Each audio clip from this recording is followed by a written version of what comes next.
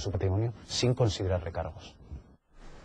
Miles de policías nacionales y municipales se han manifestado hoy en Madrid contra los recortes salariales. Convocados, entre otros, por el Sindicato Unificado de Policía, el mayoritario en el cuerpo, han pedido mejores medios y condiciones salariales.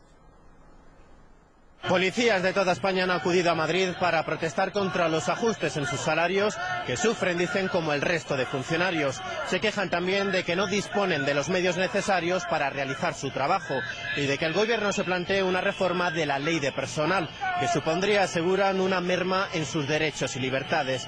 Varios sindicatos han convocado esta protesta, entre ellos el Sindicato Unificado de Policía, y han contado con la participación de Eurocop, la Federación Europea de Sindicatos de policía. La protesta ha concluido en las puertas del Ministerio del Interior.